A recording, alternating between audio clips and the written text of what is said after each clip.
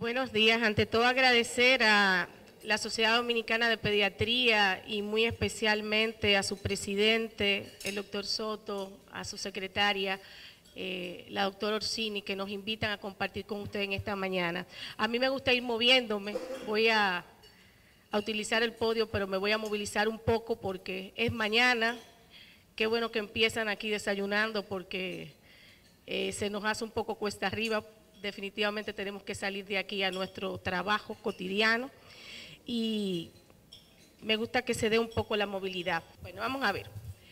¿De qué estamos hablando? De cuando hablamos de trastorno bipolar en niños, eh, hace unos días comentaba con unos colegas psiquiatras de adultos que 15 años, 10 años atrás era prácticamente una falacia a mencionar que podía existir el trastorno de ánimo en niños.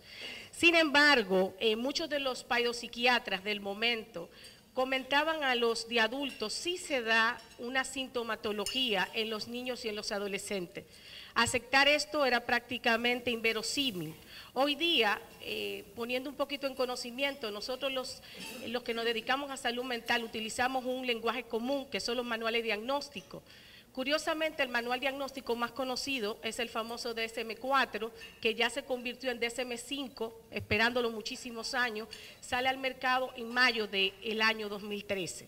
Es importante que en este manual se empiece a categorizar por primera vez el trastorno de estado de ánimo bipolar en niños, con un nombre en siglas en inglés que se llama Mood Deregulation Disorders, que es el trastorno de desregulación afectiva. Es muy interesante esto porque ahora a los pediatras se le está pidiendo más. Y por supuesto que yo como psiquiatra digo, sin el pediatra no puedo ir a ningún lado, porque ustedes son los que reciben los niños sanos y los niños no tan sanos y definitivamente son los primeros que van a necesitar tener información de punta para detectar todo esto a tiempo. Cuando hablamos de un trastorno bipolar en niños, ¿qué vamos a ver? Vamos a ver esto, esto que tenemos acá en estas áreas va a haber una desorganización, diferentes periodos de estado de ánimo que anormalmente aparecen, que usted inclusive en las etapas periódicas de seguimiento al niño, en sus etapas de desarrollo, puede empezar a visualizarlo. Elevado y expansivo, se convierten en niños irritables, pueden soler venir con una cara apática, que es lo que nosotros denominamos como unos indicios de depresión infantil. Anomalías sociales son muy intensos, son muy invasivos. O sin embargo, pueden ser niños que de ser muy sociables pasan a eh, irse al otro extremo. La evaluación parcial sobre uno o los demás nos puede llevar a todo esto del trastorno bipolar hay lo que tenemos que ver es también los procesos cognitivos de estos niños. Tienen un pensamiento eminentemente rápido.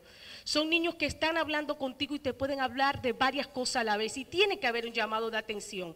No es la fantasía típica del niño que te habla de los dibujos animados, sino que te salta de un tema a otro, de una manera que llama la atención.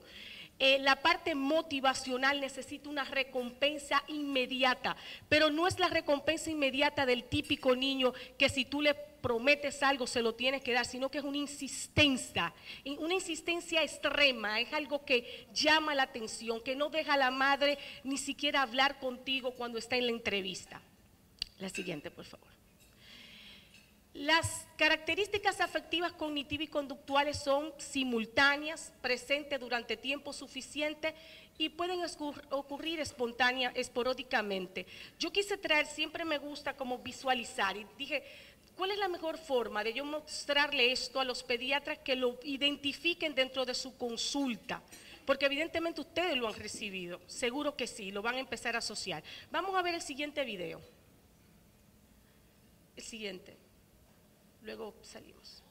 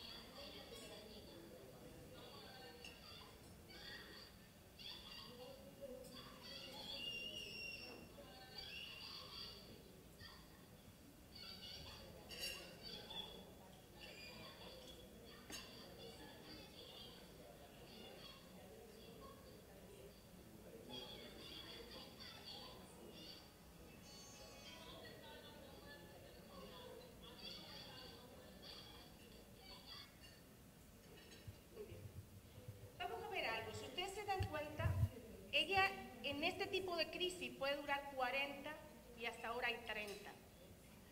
Generalmente las crisis aparecen de 6 a 7 mínimas por semana cuando está en control. En este momento esta niña no está escolarizada porque evidentemente en el colegio no tienen los medios de contención.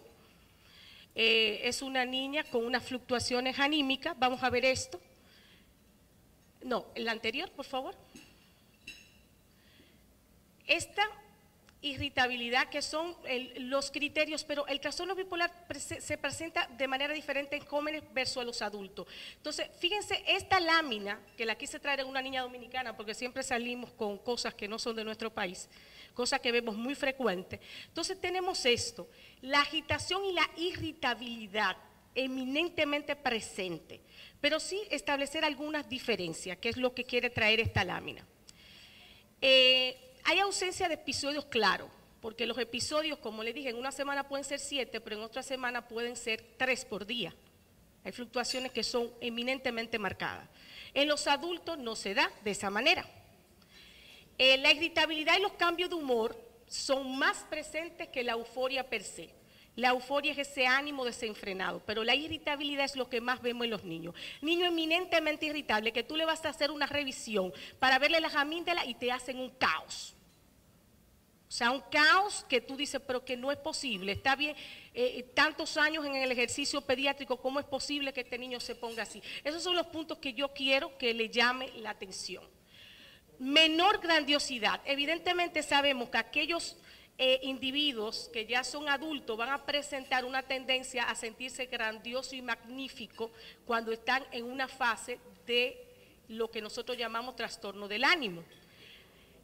Yo quisiera detenerme y hacer una explicación que a mí me parece la forma más sintética de yo explicar los trastornos del ánimo, porque siempre vamos a tener que tener una comparación entre lo que vemos de adultos con lo que vemos de niños, porque lo que vemos de adultos fue lo que aprendimos en medicina general.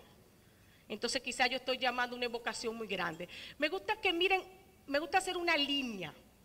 Quédense con esta diferencia, pero imagínense una línea y en esa línea nosotros vamos a hacer una división hacia la derecha de todo lo que se considera unipolar, que nosotros llamamos unipolar, que es la famosa depresión clásica. Eso lo dimos en psiquiatría general. Estoy evocando muchas cosas atrás. Entonces, pero necesito que tengan esto claro para que podamos entender esa diferencia. Pero entonces, ¿qué pasa? Aquí está el unipolar. En este lado que queda a mi izquierda, vamos a hacer otras divisiones. ¿Cuáles serían esas divisiones? Vamos a hacer una partecita en el medio, que es lo que llamamos el espectro, que son las personas que fluctúan en el ánimo.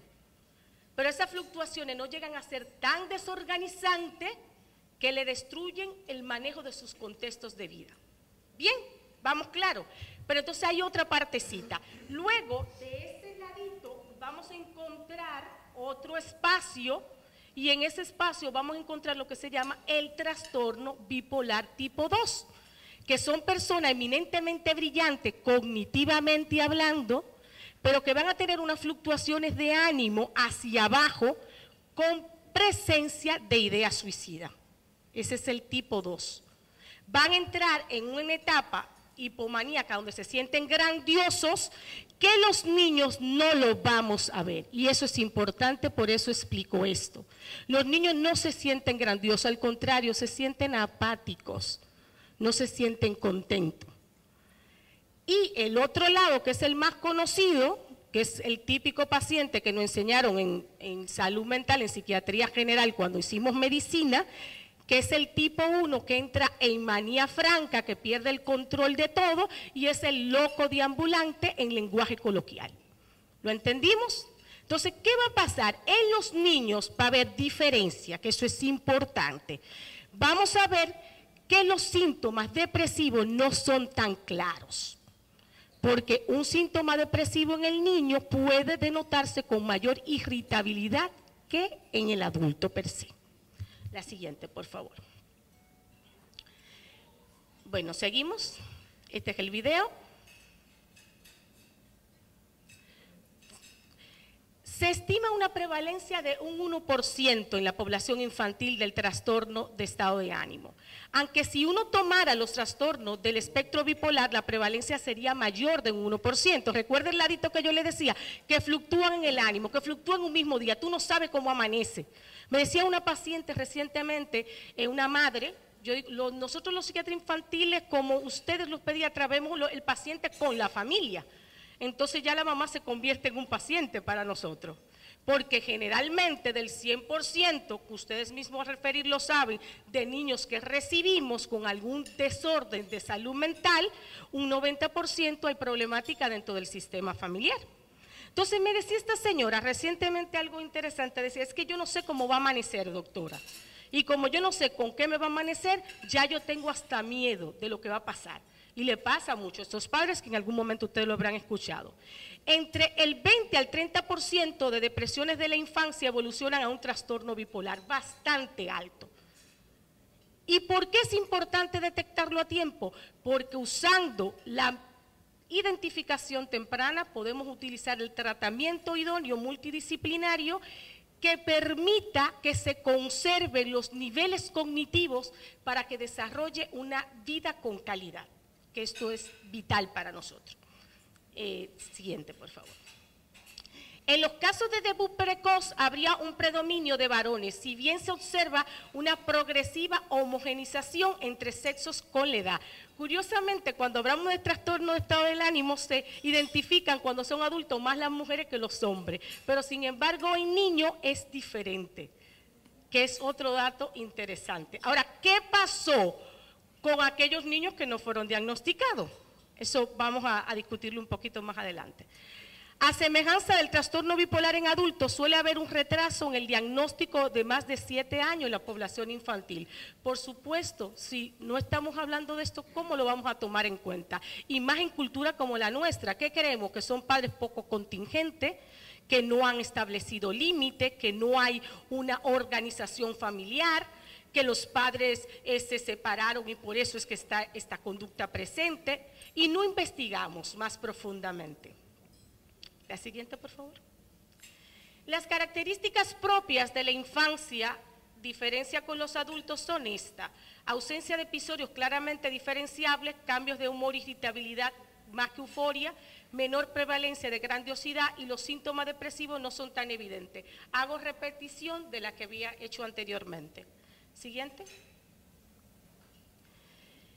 Los padres lucen agotados, no sabemos qué hacer, fíjense como esta señora, el niño es eminentemente agresivo, su violencia es desmedida en relación al evento y sus reacciones son desajustadas. El día de hoy yo me tuve, eh, tuve el atrevimiento de invitar a una de las terapeutas de conducta que trabaja conmigo, que es la licenciada Domínguez, porque evidentemente cuando nosotros trabajamos un equipo multidisciplinario, cuando este niño llega a la consulta, todo el mundo lo conoce en un equipo de salud mental. Y así mismo va a ser en pediatría. La secretaria le dice, hoy viene fulano, doctor, acuérdese. Quite eso de ahí, por favor. Se lo tienen que decir. Mire, recuerde que, mire quién es que, mire quién está en la lista, usted no lo chequeó. Entonces es algo importante porque tú tienes que decir, oye, pero es que no puede ser que este niño movilice a todo el mundo, inclusive a mí mismo. Tú quieres que acabe la consulta y que la mamá se pare.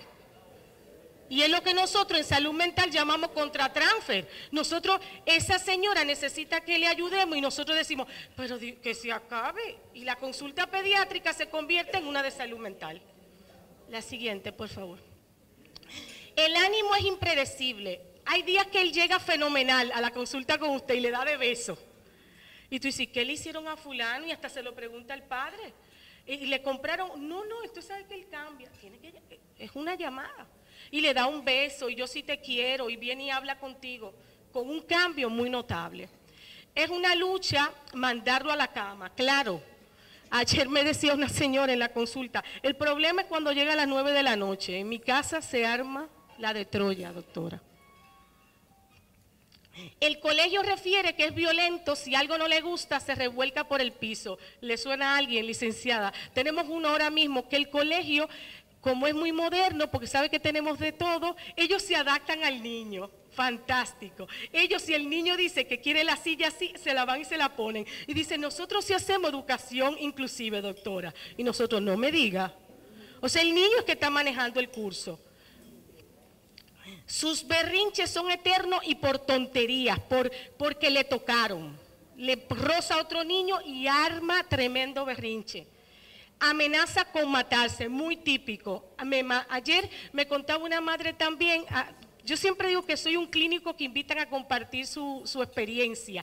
Por eso van a ver que siempre voy plagando con información, porque me parece que ilustra mucho.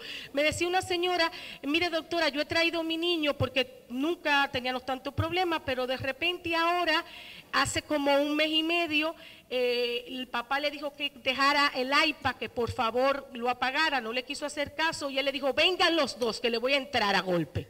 Atrévanse conmigo. Entonces se subió al techo de la casa y dijo, me tiro. ¿Tú quieres ver lo que está bueno? Entonces la madre me dice, doctora, no sabemos qué hacer, si darle una pela o traerlo aquí. El siguiente, por favor. Antecedentes familiares. Yo quiero detenerme aquí, muy importante. Hay un factor, ustedes saben que toda la genética, esa es otra de las grandes pasiones de nosotros los médicos hoy día, porque la carga genética es vital y sobre todo condiciones como el trastorno de estado de ánimo bipolar tienen una carga genética. Tenemos que explorar la familia y no es esperar hasta que el especialista de salud mental lo explore. El pediatra tiene que empoderarse. Decir, oye, y hay gente en la familia que también cambie de humor, porque ese es el primer dato para referir. Hay una carga genética importante. ¿Y alguien le pasa eso en la familia? Entonces tenemos, hay trastornos de conducta, suicidio, abuso de sustancia, toda esta información tenemos que explorarla, muy importante. Vamos a la siguiente, tenemos aquí, la siguiente, no, quiero antes de llegar, voy a volar algunas y vuelvo para atrás, le dije que me gusta ir moviéndome, no, seguimos a, sí, sí, ok.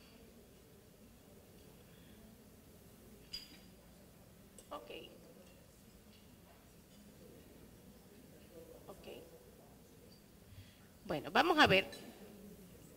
Quiero, quería comentar, eh, estas son algunas investigaciones, pero voy a volver atrás con ella. Hablar de la euforia de estos niños. Tienen conductas incontrolables en la escuela. Se ríen en forma desajustada, que es la sintomatología eh, de temas tristes o molestos, o sea, de tono burlónico. Se mueven y ríen sin control. Cuando los retan o sancionan, encuentran gracia en situaciones claramente que no lo tienen. Eh, y poca necesidad de sueño, también es otro dato que tiene que llamarnos la atención. Es un niño que no necesita dormir mucho, que el padre se lo dice. Y ustedes saben que los trastornos de sueño, que es un dolor de cabeza para paidopsiquiatra y para pediatras que vienen y se lo comenta, y más en la actualidad, por la poca eh, puesta en circulación de ayuda farmacoterapéuticas adecuada para niños, entonces también tiene que llamarnos la atención. Se quedan hasta altas horas de la madrugada. Dicen que se duermen, pero no duermen. Tú le empiezas a ver ojeras al niño, que es muy importante. Durante las vacaciones pueden pasar noches sin dormir y pueden dormir dos y tres horas en la noche y luego levantarse. Y los familiares lo encuentran haciendo cosas, como viendo televisión, es muy típico en nuestra cultura. Él se levanta el padre un día y lo encuentra que está viendo televisión o que está con el computador encendido. Mientras todos los amigos o los iguales se duermen, ellos siguen activos, ruidosos durante más que el resto. El siguiente. Ustedes se recuerdan que está hablando de la megalomanía y la grandiosidad. Vamos a ver cómo esta se presenta en los niños. Decirle directo que se calle o al maestro porque le debe hablar. Eso es una expresión de grandiosidad en niño. No es la grandiosidad de creerse Napoleón Bonaparte. Es decirle, cállate tú, como el chico que yo le estaba diciendo, que le hizo, vengan los dos que le voy a dar, le decía al padre y a la madre. Afirma que son más inteligentes que, los que todos los de la escuela. Ese maestro no me enseña nada. Ese no, ¿Qué es lo que sabe? ¿Qué es lo que yo voy a aprender ahí? Y se lo comentan a los padres. Lo impresionante es que muchos padres se dejan seducir y dicen, es que es muy listo. Oye, que es muy listo. Un niño que eh, diseñar y, elaboran defensas de trinchera cuando, por ejemplo, lo van a atacar. Inmediatamente están a la defensiva. Tú le vas a decir algo y te dicen de cinco años. El otro día tenía yo uno en consulta que me dijo, ya sé lo que me va a decir, he ido a diez psicólogas.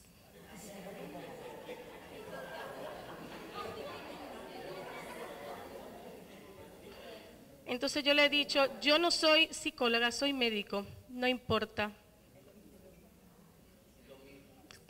No, faltó que me dijera lo mismo. Eh, un adolescente de repente considera que es una estrella de música y pasa todo el tiempo en contacto con la empresa para establecer un contrato. Tengo una muy especial que ella es con Corea, le gusta todo lo coreano, ha aprendido hasta coreano. Los padres la pusieron en la escuela de coreano, no sé si saben que hay una.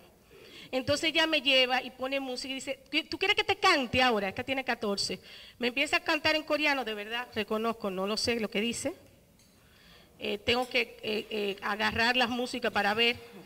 Y, fíjense, ella, según ella, su éxito va a estar en Corea. Ahí es que va a estar todo lo de ella. Y, buscan, buscan cosas así que son atípicas, a peculiares. La siguiente, por favor.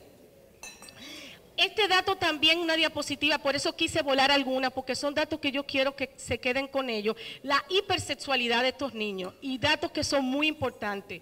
Más del 40% de los niños con trastorno bipolar tienen síntomas de hipersexualidad, pero solo el 4% tiene antecedentes de abuso es que son niñas seductoras, hipersexuales. Llegan, hola, te saludan. Entonces llama, y es importante poner a ojo avisor, eh, por ejemplo, este tipo de niños, la licenciada sabe que yo le digo que nosotros tenemos cámaras para trabajar con salud mental, muy importante, y consentimiento informado con los padres. Entonces hay un detalle que yo le digo, con este tipo de niños en primera fase, dividimos los trabajos terapéuticos por fase, el terapeuta no debe hacerlo solo pero el pediatra tampoco. Es importantísimo, porque recuerden que hay antecedente heredo familiar y que el niño tiene problemas, pero el 90% de los padres también. Entonces vamos a ver que no es una madre conflictiva, sino una madre con trastorno de salud mental o un padre con trastorno de salud mental que sale diciendo que ese pediatra no hizo o ese psiquiatra no hizo, esa psicóloga no hizo. Bien. Eh, movimientos erotizados, tocarse, eh, frotarse los genitales. Por ejemplo, la niña que ustedes vieron que estaba con la crisis, que yo quise mostrarle en el video, ella entra a la consulta frotándose las piernas todo el tiempo. Entonces, si empezamos a decir, uy, ¿qué está haciendo? Una actitud masturbatoria. No. Mira qué te pasa, cariño. Al baño. ¿Quieres hacer pis? Porque somos nosotros los que tenemos que cortar para que ellos no se empoderen. Entonces tenemos dibujos de personas desnudas, besos inadecuados a adultos o niños, tocar a otros en genitales. Hay uno que tenemos muy curioso que él suele, había una de las terapeutas que le solía, le solía ver los senos y se quedaba así todo el tiempo. Ponía muy nerviosa a una de las terapeutas. sí, porque cada quien tiene su estructura. Entonces ahora está trabajando con una que ella es bien firme y cuando él se pone así dice, no sé qué ves a ese nivel porque ojos ahí no tengo. Es un poco esa firmeza, al identificarlo inmediatamente cortar la conducta. Lenguaje procas con términos sexuales, mandar cartas o mensajes desagustados a otros niños. No sé si ustedes saben, hoy día con los mensajes de internet y demás, ellas se tiran fotos semidesnudas, niñas entre 10 y 12 años y la envían a otros. Y no le importa exponerse en el colegio. De esta hemos tenido bastante. La siguiente, por favor. Este otro dato que también quiero que no lo olviden es el pensamiento acelerado. Y es muy fácil detectarlo. Usted le pone, dile, tú escribes algo, empieza a escribirme algo. Fíjense, por eso he querido poner esto, porque aquí, si ustedes se dan cuenta, este tipo de letra, un poco exagerada por la caricatura, pero sí llama la atención porque la escritura se deforma. Porque los trastornos del ánimo, que están también muy asociados a patologías comportamentales a nivel frontal cerebral, van a tener una afectación. Entonces aquí la escritura de estos chicos es una escritura mezclada. Sentir que su pensamiento va a mil por hora. Tú le preguntas, ¿y, ¿y es que tú no descansas? Y dice, no, yo nunca paro de pensar. Eso lo hacen igual que los adultos los adultos cuando tienen trastorno de ánimo nunca paran de pensar, ellos tampoco, muy importante. Sienten un tornado en su cabeza, eso te lo comentan mucho, las palabras van más rápido que la, la posibilidad de hablar y los padres se quejan que el niño salta de un tema a otro. Y usted también puede verlo dentro de la consulta. La siguiente. Vamos a ver la diferencia en las diferentes etapas, que también esta me pareció bastante interesante para compartir. El ánimo predominante en la infancia, irritabilidad. En la pubertad, eufórico e irritable. Puede estar en las dos vertientes. Recuerden que la pubertad, a partir de los 10, no es que el prepuber a los 12, no es los 10, es la década de la vida. Entonces ya un niño de 10 años es un puber. Adolescencia, eufórico irritable, presentación episódica es rara en la infancia, no hay episodios marcados, como en los adultos dice, ¿cuánto duraste en eso? No, en un mismo día cambian. En la mañana de una manera, en la tarde de otra. En la pubertad a veces puede haber presentación episódica y en la adolescencia sí se da, muy marcada, igual que el adulto. Por eso, hace algunos años solamente se podía detectar a partir de los 14 años.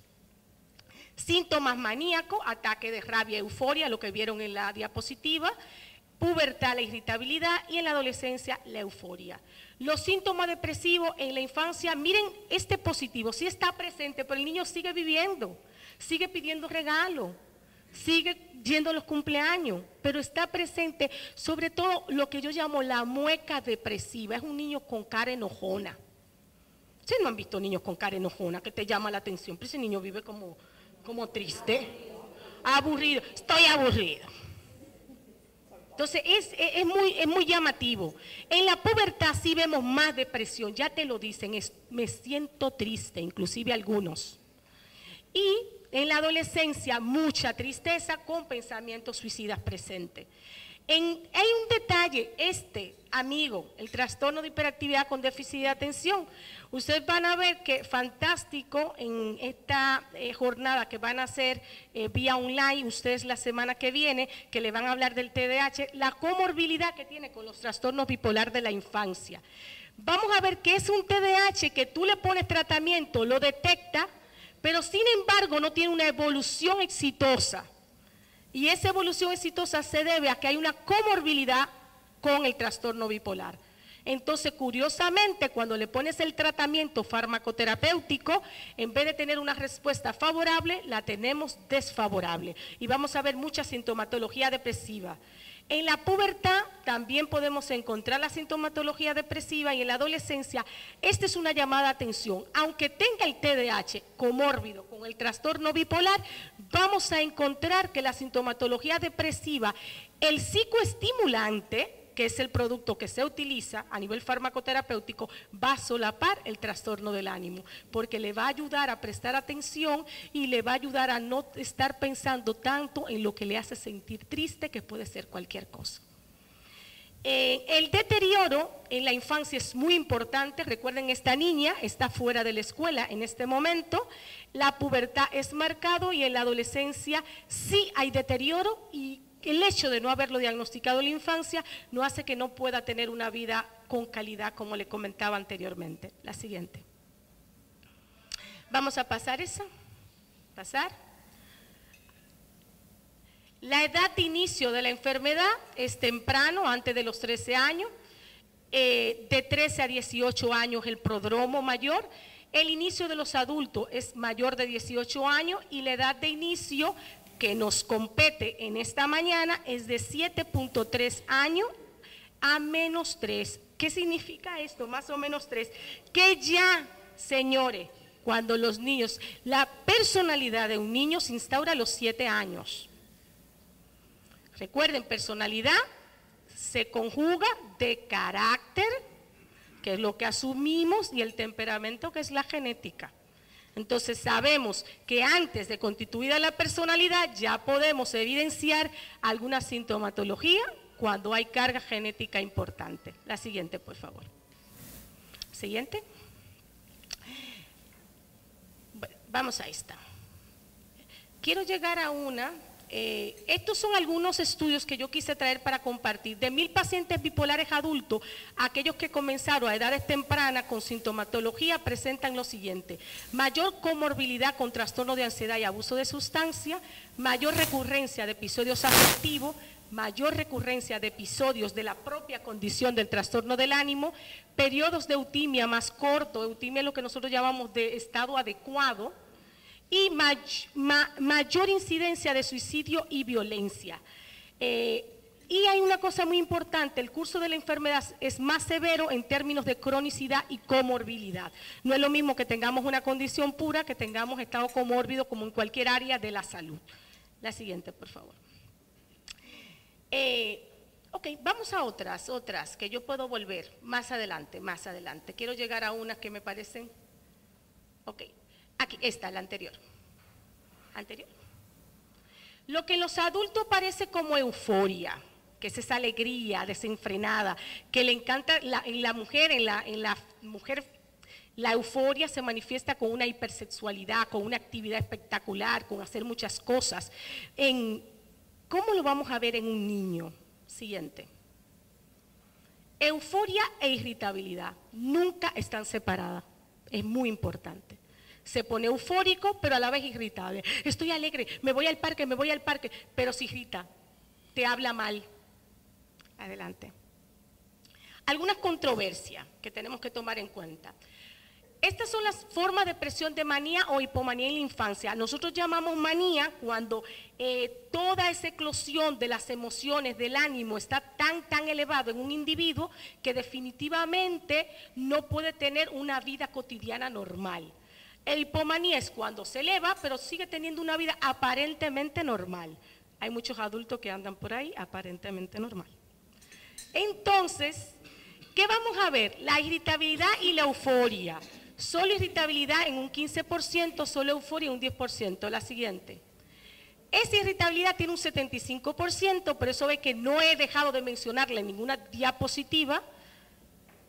Y los resultados de este estudio, que es el COVID, que me parece uno muy interesante, a diferencia de lo que se venía sosteniendo, la irritabilidad solo era el síntoma más predominante en la bipolaridad infantil. Este estudio muestra que la combinación de grandiosidad, como yo le explicaba en la diapositiva anterior, e irritabilidad es más frecuente.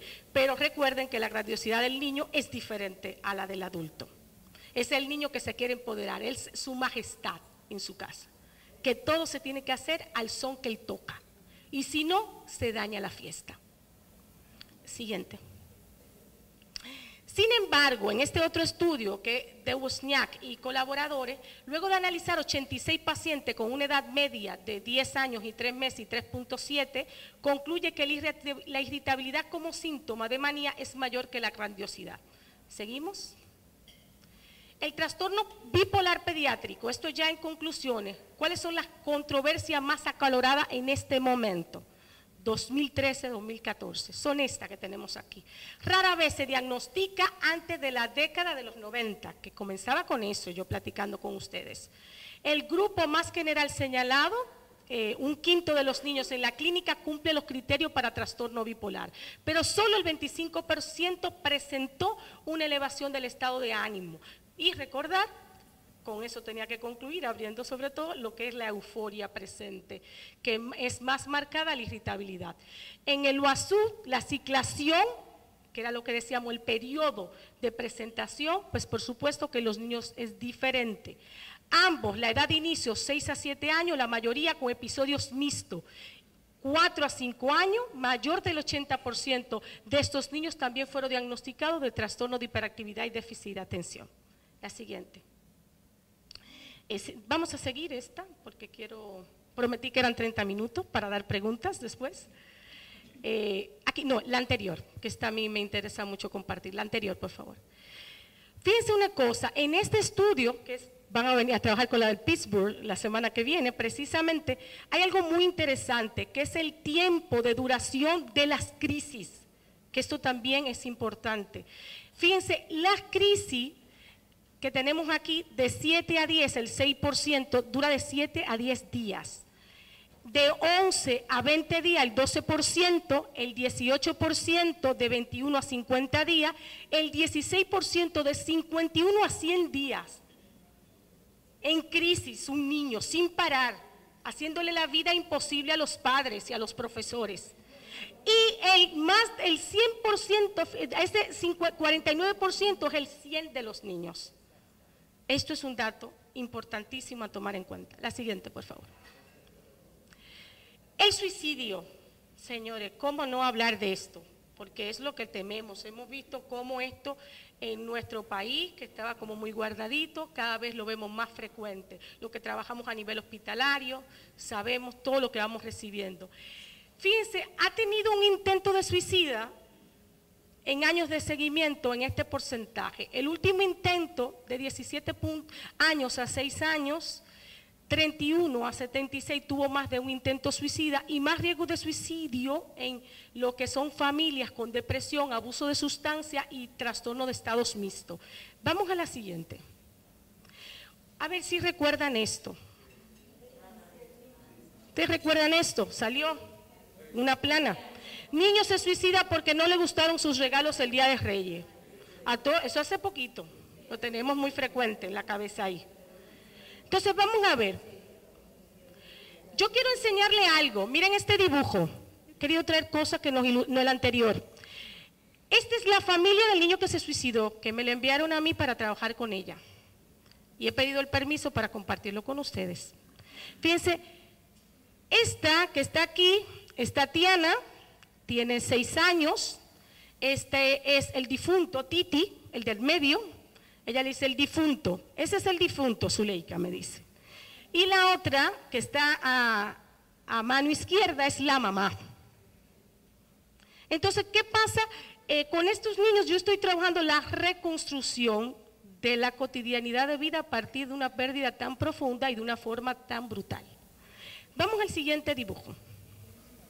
Esta que está aquí, que es Rola, es la hermana de 13 años, que es la secretaria mía en el trabajo terapéutico. Si ustedes se dan cuenta, esto que está aquí, si el, es que no me deja el señalador, esto que está aquí es, eso eran unos blogs y eran los dos varillas donde en una se suicidó el hermano y esa es la otra donde ella se soñó suicidándose ella. Ustedes pueden ver, ella se está colocando aquí eh, la soguita, esa es Rola, y esta, vestida de amarillo, es una vecina que en el sueño llega a salvarla. Entonces nosotros cuando trabajamos con un niño como ese decía, oye, pero dime una cosa, pareciera que te hubiera gustado llegar a salvar a tu hermano. Entonces ella me dice, sí, pero no pude. ¿Por qué yo traigo este dibujo? Hablábamos de la carga genética, que no podemos esperar hasta referir para poder explorarla un poco. Fíjense, la madre de estos niños tiene un trastorno de estado del ánimo y tuvo ocho niños. Tiene 27 años. Vamos a ver la siguiente. Esta es la familia. Es esta señora. Ahora le sacamos una sonrisa. Se puede también trabajar esto a nivel terapéutico. El gran reto nuestro es poder trabajar la prevención. ¿Qué pasó con este niño? No fue el juguete, evidentemente.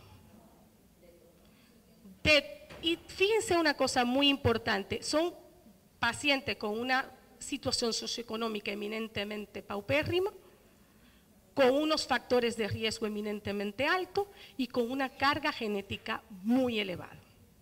La siguiente, por favor. Tips para concluir y pensar en trastorno bipolar. Tenemos historia familiar de trastorno bipolar como la que hemos visto anteriormente.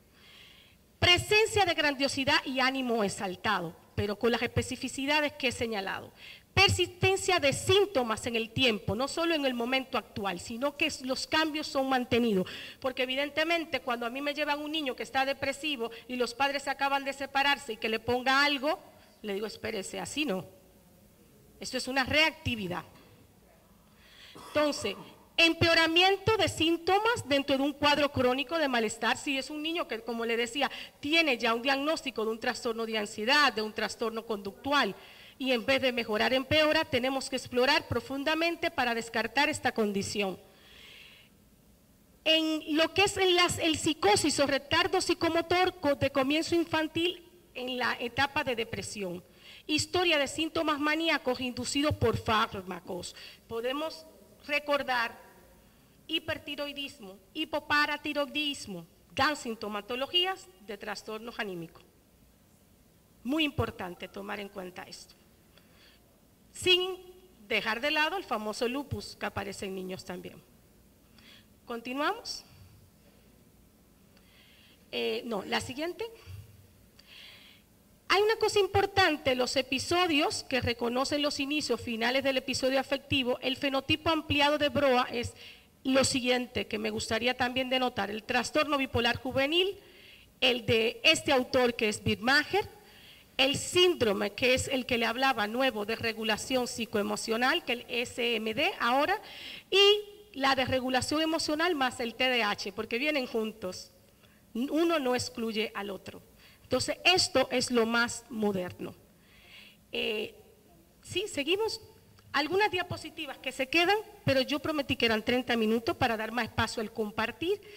Hay una frase que a mí me gusta mucho y dice, eh, es un autor llamado Unamuno, dice que el niño, o sea, dice lo siguiente, dice que, eh, ustedes saben, Adán y Eva, la historia de Adán y Eva, y él descubre por qué Adán pecó. ¿Habían escuchado eso? Bueno, pues él dice que Adán pecó porque no tuvo una infancia adecuada. Es nuestro reto que los niños tengan infancia adecuada. Señores, es un placer estar con ustedes en esta mañana.